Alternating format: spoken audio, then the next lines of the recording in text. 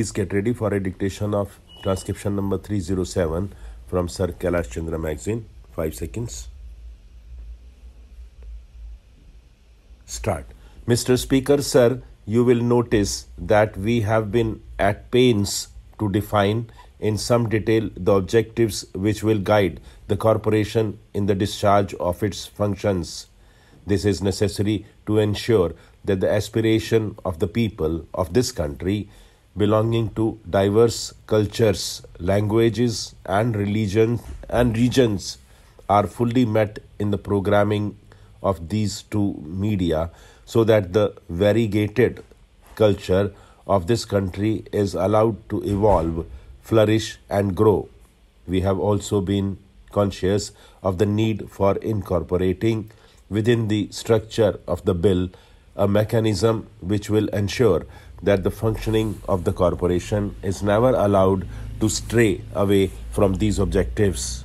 It is equally necessary to ensure that the rights and sensibilities of individuals and groups of people which could be hurt by insensitive or biased programming are not allowed to be infringed. It is in this context that a provision has been made for the establishment of a broadcasting council. This council will examine all complaints of unfairness and bias or those relating to programs not being in conformity with the objectives of the corporation. This council will consist of a president who will function whole time. This will he will be assisted by 10 other part-time members drawn from various walks of life so that every aspect of programming could be brought under scrutiny. There is also a provision which will enable this council to set up regional councils to cater to regional needs. All senior appointments within the corporation will be made by the Board of Governors and other appointments by recruitment boards to be set up by the corporation under the rules. We have also provided protection to all categories of employees of AIR and Doordarshan, including officers of Indian Information Service working with these organizations. It will justify our endeavor to ensure that all employees are treated justly and are provided opportunities to grow and develop in their own fields. I would, however, like to emphasize that the primary objective at all times would be to achieve excellence. The finances of the corporation will be underwritten by the Government of India on the touchstone of public service. Nevertheless, financial autonomy is to be promoted by providing that the Broadcasting Corporation shall have its own funds into which shall be paid broadcast receiver license fee, if any, advertisement revenue, service fees, and other earnings. A provision has been made to make the corporation accountable to the Parliament.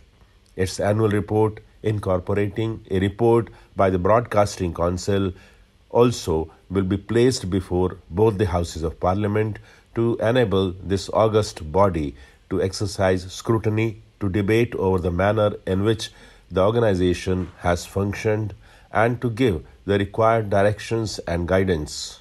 Sir, I am grateful to all the parties and their leaders, including the leader of oppos- the opposition, for their wholehearted support to the bill, the main features of which have been discussed with them as well as with several experts. Sir, we are conscious that we need to move fast to bring the corporation into being and yet not be hasty in proposing a structure which does not achieve our stated goals.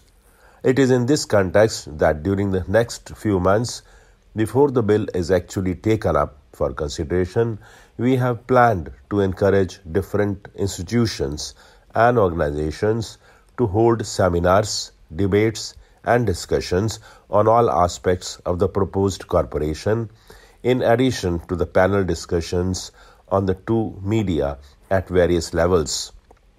It will be our endeavor to generate a national debate and to benefit from the many suggestions for improvement that will emanate as a result of this debate. We do not have any inhibition on this matter and will incorporate into the bill such suggestions and ideas that further the aims and objectives that we have in mind.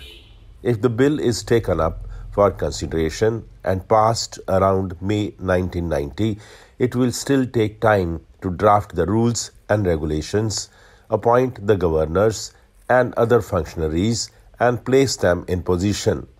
We shall endeavor to take the consequential steps following the passage of the bill as expeditiously as possible. Even so, the appointed day may be about a year away. In the interregnum, Mr. Speaker, sir, it is not our intention to be idle or let things proceed as they are today. We are aware that much can be done immediately to ensure impartiality, objectivity, and to give to the media the much needed independence which will enable them to improve the quality of programs. We intend therefore to undertake a comprehensive review of the programs being broadcast and telecast by AIR and Doordarshan. We will examine all procedures and reconstitute the various committees involved with programming wherever necessary. New kinds of programs will be considered for example, we will try to increase the number of current affairs programs and encourage independent producers to make them so that fresh, thought provoking ideas are placed before the audience. As regards television, we will try to make the second channels in four metropolitan cities much more likely so that they can provoke provide alternative programs to meet the aspirations of the regional audiences. To ensure that right from now, all this is done through a process which is rooted in the concept of autonomy and independence even before the law is enacted. We propose to immediately set up a compact five member board consisting of distinguished persons from the media, from the world of cinema, art and culture, the world of scholarship, agriculture, and rural development to oversee the functioning of AIR and Doordarshan. It must, however, be noted that ultimately it is the persons who direct and run the corporation who will count. The eyes of the entire nation will look to the Board of Governors to see how this goal is achieved. It will be our endeavor, as also the endeavor of my ministry, to provide all possible assistance. Stop.